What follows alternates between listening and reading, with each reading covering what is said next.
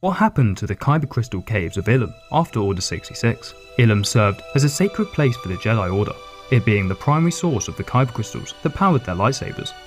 As soon as the Empire rose to power, they began a massive mining operation on Ilum, carving off whole sections of the planet's crust. Most of the Kyber crystals were taken to be used within the focusing beams of the still very secret Death Star superlaser. When visiting the planet about a year after Order 66, Ahsoka noted that the remaining crystals no longer sang to her as they had during the Clone Wars, suggesting the Empire's activities had shrouded the planet in the dark side.